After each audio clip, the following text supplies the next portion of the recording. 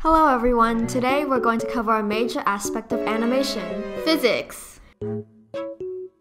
Physics is a major aspect to consider when animating. It gives the animation a more realistic feel and allows for the viewer to understand and connect with what's going on. Here are several topics we'll be going over today.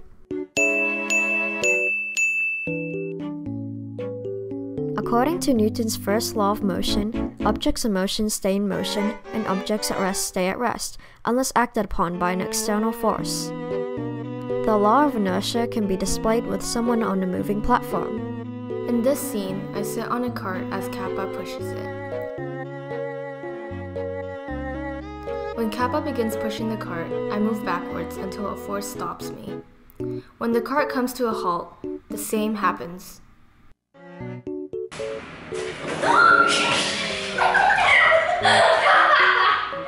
This is what we call drag, essentially when objects follow, or drag in this case, with an initial action. It's also known as overlapping action, as the movement of the second object goes at a different time as the first object. This ties in with our second topic, constant velocity.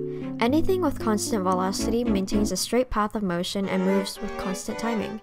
Objects moving during certain instances would maintain constant velocity. Take these for example.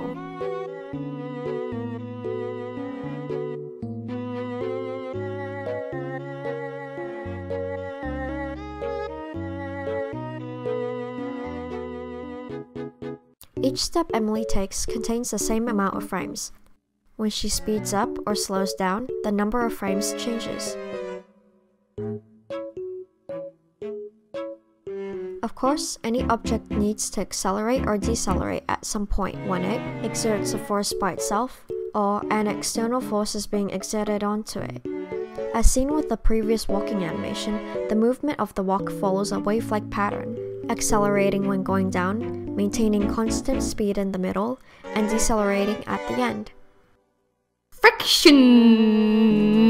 The movement of any object may alter depending on the surface it's on. For example, a box being moved across a smooth surface will require less force and will accelerate faster compared to it moving on an uneven one. Alright, before we get into forces, we have to cover momentum first. All moving objects have momentum, which depends on their speed and weight. Unbalanced forces change momentum. The size of the force helps determine this. It can affect the speed and the timing of the action, or create a change in direction. So, the larger the force, the quicker the momentum changes. A person throwing a punch.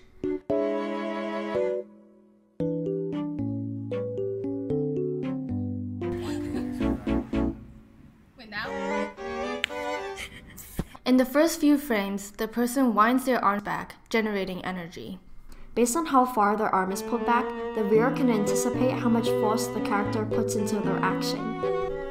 They then turn their chest and move their body slightly forward before their arm follows through with the rest of the punch, releasing the energy. The act of the arm following through can be described as a change in momentum.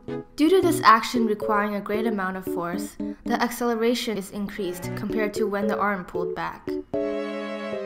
As briefly mentioned in the previous example, emphasis on a subject's actions shows how much force is being applied or used.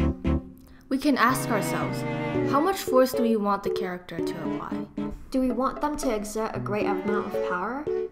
Or just barely any? As the force acting upon an object is increased, the acceleration of the object is increased.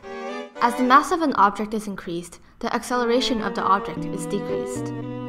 Take a small person and a large person bumping into each other.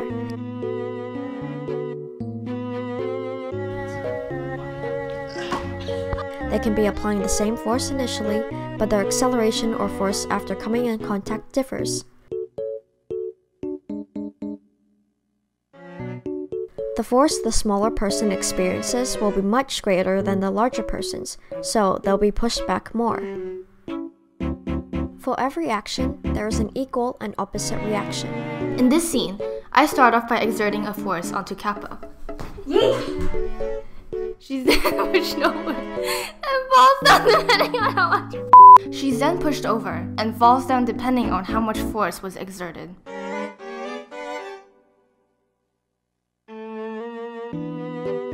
However, I don't stop there as I get pushed back slightly due to an opposite force being applied. Certain objects in motion gain and lose weight. How so? Well, when moving with gravity, the subject seems to lose weight, and when they move against gravity, they seem to gain weight.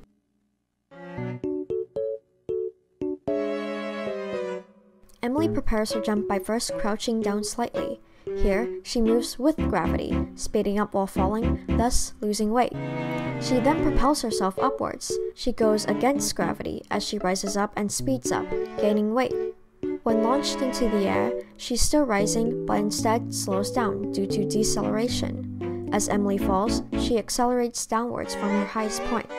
Finally, when she lands, she slows down again to end the action. Thank you everybody for watching. If you feel like we left some things out, let us know.